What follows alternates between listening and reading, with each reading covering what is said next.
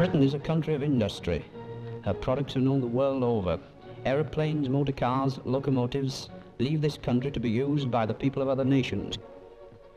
But we are wealthy and strong not only because we can make a great many things quickly.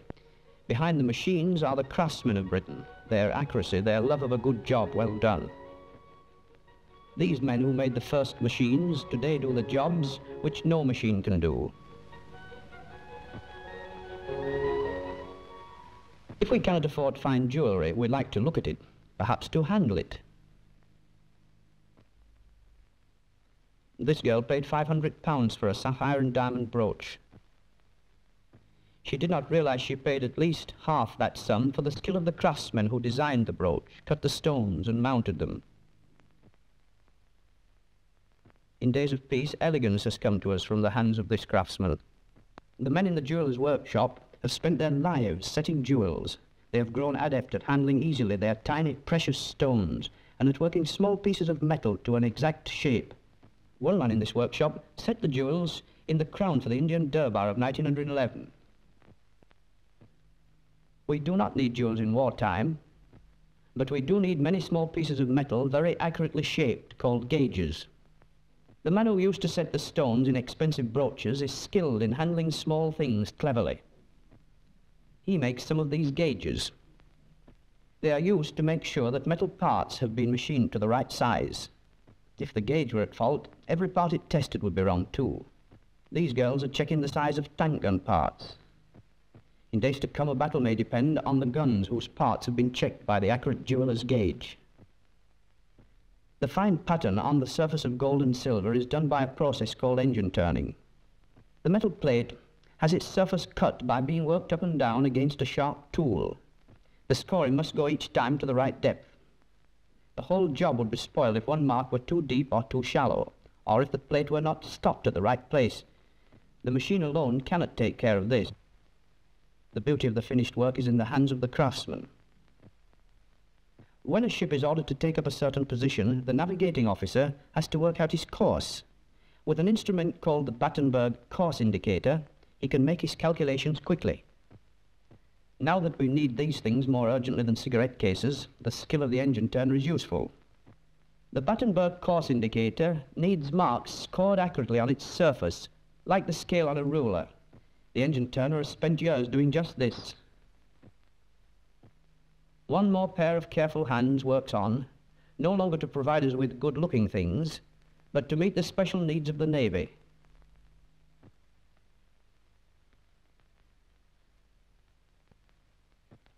In peacetime, people like to have fine watches. The craftsmen in the watchmaker's shop made them for our pleasure and use. Working in the leisure of peace, the watchmakers developed their skill. They worked on their tiny machines, producing masterpieces of accurate engineering, too small for unpracticed eyes even to see. The watchmaker lives most of his life in a minute world of his own. In war, small timepieces are still wanted, but they are called fuses. They go, not in a man's waistcoat pocket, but in the nose of an anti-aircraft shell. The fuse has to be regulated, just as a watch does, so the watchmaker's special skill is called in. He makes sure that the small pallet vibrates evenly.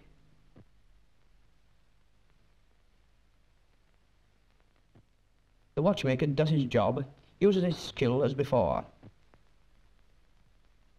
But now we need that skill to bring down enemy bombers. The fuse is set rather like an alarm clock. When the gun fires, the fuse starts and goes on until the shell has had time to reach the proper height.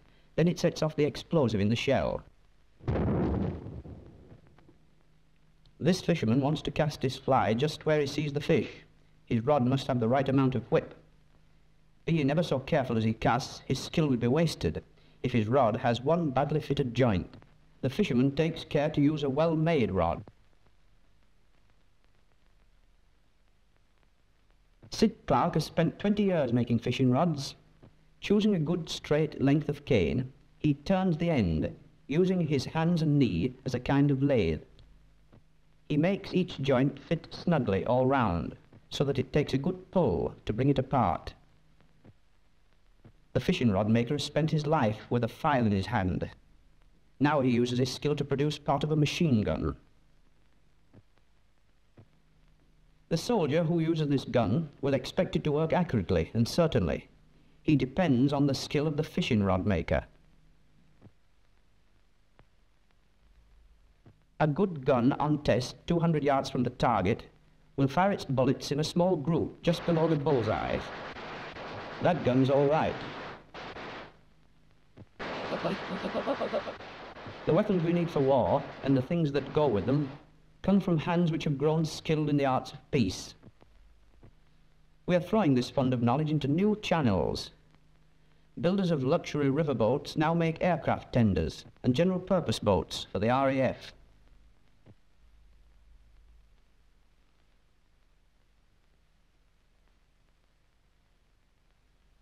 The same boat builders go on at their work.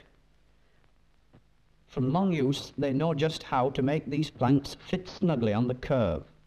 This is one of the RAF rescue and repair boats, the fourth that this man has worked on.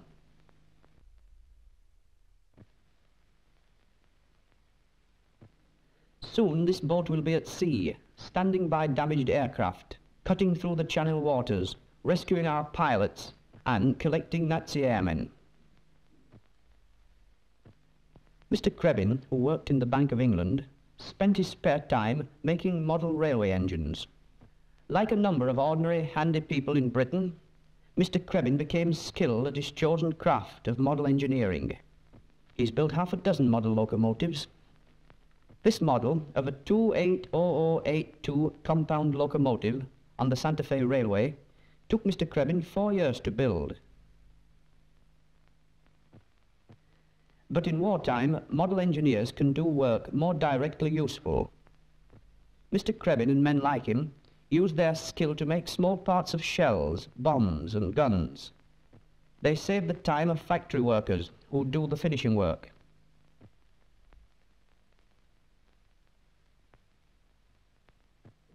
When the fisherman comes ashore, he has to spend much of his spare time mending his nets It's a skill job which he learned as a boy.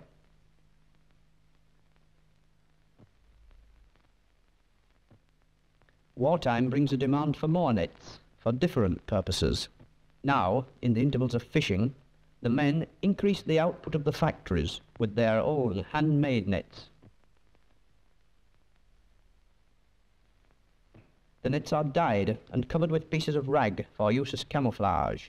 So the fisherman, besides feeding us, helps to hide our factories and guns from the eyes of enemy aircraft.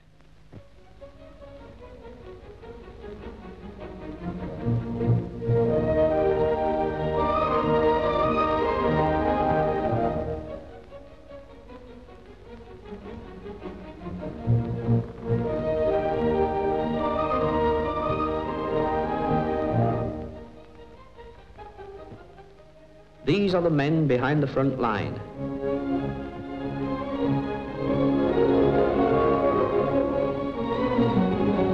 On the skill of their hands we depend to fashion our machines of war.